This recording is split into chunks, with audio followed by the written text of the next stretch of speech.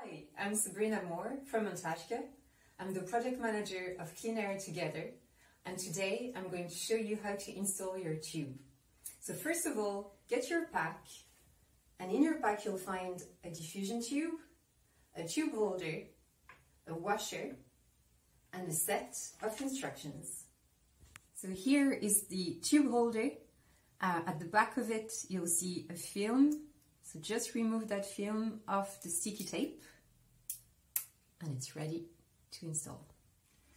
So I take the diffusion tube, remove the white cap, I put that cap aside in my citizen science pack. I'll need it in four weeks.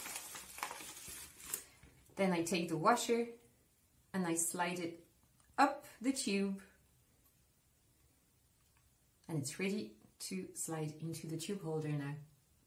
Clean a small area of the window and then let it dry for about a minute. Take the tube holder and push it against the window. Just do that for 15 seconds or so.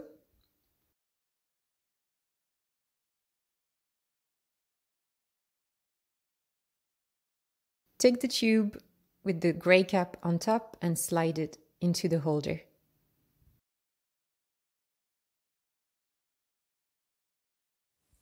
Remember to enter the day and time of installation on cleanairtogether.ie.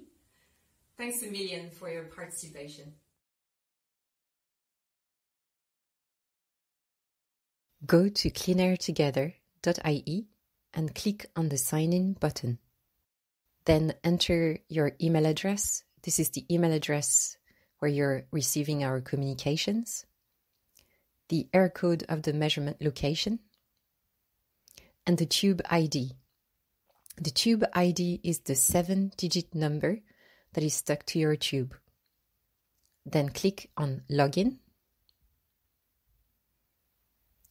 Then enter the date and time you installed your tube.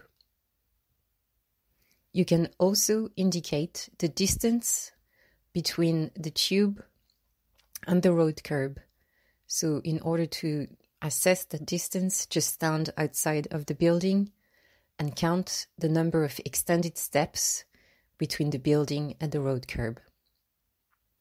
You can enter any comment, for example, what's the floor level that the tube is installed, ground floor, first floor, higher up.